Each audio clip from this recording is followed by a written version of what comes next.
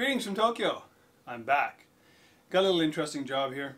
I have a stand here. Uh, I made this a couple years ago, maybe three years ago, and it's actually a stand for doing a thing they here in Japan they call mochitsuki, which is they take this rice and they steam it, and then they put it in this kind of wooden pot, and then they pound it with this big wooden hammer, and they make it into this kind of rice paste stuff that's called mochi. It's a cultural thing. Um, what happened was we were doing this as a community group and of course, all the little kids wanted to take part, but the hammers and the size of the the rice bowl or the wooden bowl thing were like adult size. So I had a big chunk of wood that was uh, keaki, which is like a Japanese elm, which is really hard, and I turned that into the wooden bowl thing they call the kine, I think. Um, usu? No, usu. Usu is the bottom piece. The kine is the hammer, uh, I think. Anyways, uh, I, so I made it. The problem was it was a little bit too low to the ground, so I very quickly whipped up this little stand for them, and it's just made out, out of like three quarter inch plywood. And uh, two years on, well, it has a problem. It uh, it broke. so, I mean, it was just a thing that I whipped up quickly, and we didn't know what height to make it, so I made it like two different heights. So it's either that height off the ground, or you could flip it over and it's that height off the ground, depending on the kids, I guess, depending on whatever. So they like the basic design, but of course the the the, the, the joint here that I used was I, I just used the uh, three quarter inch plywood to make my mortise and tenon, and of course the the the tenon is quite small, and I ended up it ended up breaking. So I'm going to make one out of hardwood, and I'm going to make it out of some uh, one inch thick hardwood. It's kind of like a like a butcher block slab thing that I have left over from a job, and it's oak, so it's very strong and I'm going to make it in such a way that I have like two one inch pieces that I put the the the joint in, the tenon and and, and the um, um, the mortise in, and then I glue them together. Just kind of a simple thing because I don't really have a, a dedicated mortising machine. And uh, yeah, I'll take you along for the ride here. So I'll put a picture in here somewhere or here or down, probably maybe here where of the actual thing so you can see what it looks like or what this looked like with the big wooden bowl thing on top of it. I don't think I have any actual video of them of it in use. I have video of other ones in use, but not that one. Anyways, uh, I'll just take you along for the ride, so uh, stay tuned. Here's a close-up of the old stand, which is obviously broken. This is a flip-up table that I built for my SawStop. Saves a lot of space and it works really well. Really like it. Simple design, and it just works.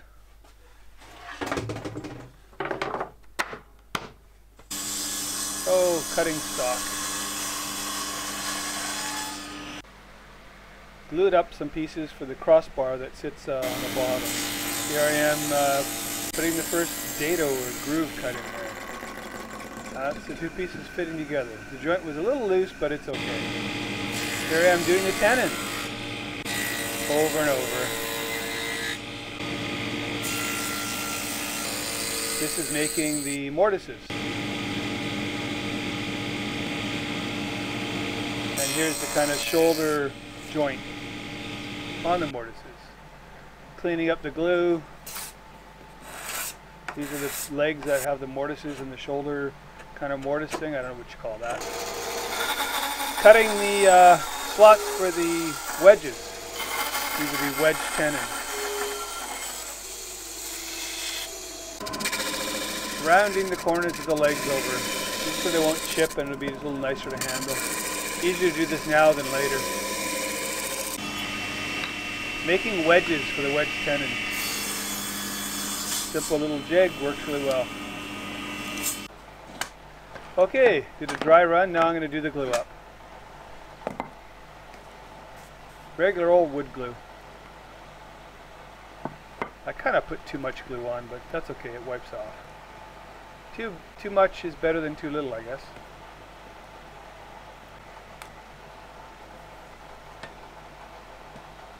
I marked them well so I couldn't put it together backwards. Now clamp it up, wipe off all that excess glue, clamp it up, and then bang in the wedges. Check for square. Put glue on the wedges and Tappity tap tap.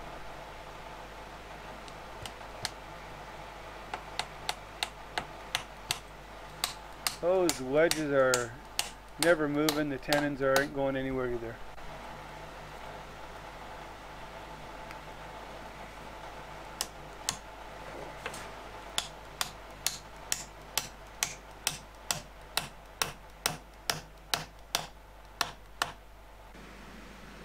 Here I'm drilling the holes. I put four dowels in the middle, kind of in the middle of the cross so that it would uh, hold together for sure.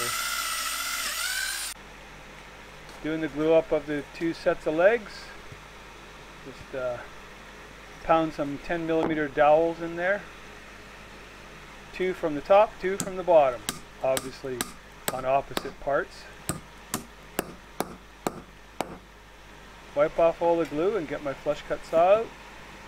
Yeah, ended up with the legs being slightly different length. I had to take the belt sander to the bottoms of the legs and make them all the same length, but it worked out fine.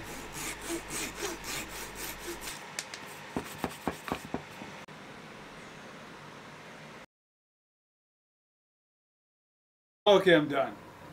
This is, I think, a huge improvement over this. This is just uh, three-quarter inch plywood with three-quarter inch plywood joints. It was never intended to last. I mean, I made it only because uh, they suddenly needed something to get the the usu a little bit higher off the ground. So I mean it broke. Obviously that wasn't good enough. This one here I've made now it's uh, hardwood. It's all hardwood. There's no nails or screws in it anywhere. There's uh, some uh, tenons that I, I have put wedges in. I guess wedge tenons. And in the middle I put dowels, four dowels to hold everything together. It's uh, made out of this kind of butcher block kind of stuff. It's like uh, it's oak, and I think in the store they call it actually Siberian oak. One of the things I know about this stuff is it's really, really hard. It's a little bit difficult to work with at times because the grain kind of runs, you know, because it's just a bunch of pieces put together, finger jointed together. But it's it's pretty solid stuff. It's fairly weighty, and uh, yeah, it's I think it's pretty good. The uh, the big advantage for strength I think is because of the the wedge tenons. There's no way the legs can go that way, and because I, I put like a shouldered joint in here, um, I'll insert a close up here of it somewhere, and uh, there's just no way. I mean, I think you could you could pound on this thing with a with a sledgehammer. You'd have to actually break the wood to break it apart. Now, I'm pretty sure. And I mean, basically that's what they're doing. The usu goes in here. That's kind of like a big wooden bowl made out of a solid chunk of, of a log. And they take this big, large wooden hammer and they hammer the, the steamed rice to make it into this stuff called mochi. I don't know if I have any video of that. I might have some somewhere, but I don't have any video of them using this because I've actually never seen it in use. I made the set, the kids set for the kids, and then every weekend that they had this thing going on, they have it doing it in October, I was working, so I just couldn't go and see it. But uh, anyways, uh, hopefully that solves their problem. All I got to do is put my touch mark on it and uh, put, throw some oil stain on it, and it'll be finished. Anyways, I really appreciate you guys all watching, and uh, hit the thumbs up and subscribe if you haven't. I'd really appreciate it. Okay, take care. Thanks a lot.